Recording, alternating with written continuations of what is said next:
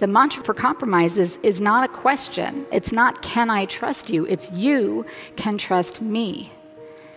Everyone fails at being perfectly trustworthy.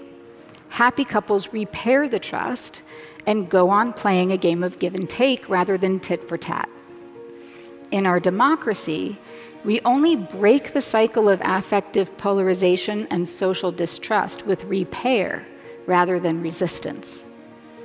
By being trustworthy, by seeking compromise rather than trying to win at all costs, by tolerating people and views we dislike, by refusing to participate in defamation campaigns, and by publicly defending targets even if we don't share their views.